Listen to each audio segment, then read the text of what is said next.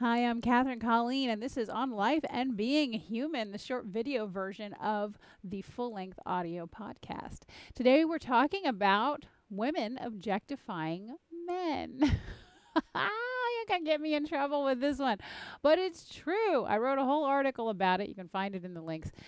Um, let's not pretend that women don't objectify men. Uh, women who prefer men will sometimes objectify men. Come on, we're biological. We're sizing everybody up.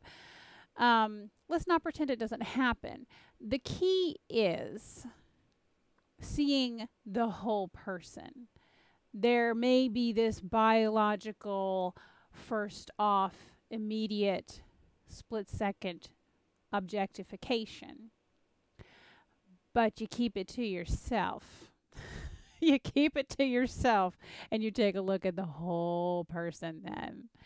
Intelligence, personality, the whole thing. Let's see the full beauty of a human being beyond that first initial mammalian objectification. At the same time, let's not be naive and act like that doesn't happen. Of course it does. It happens for everyone.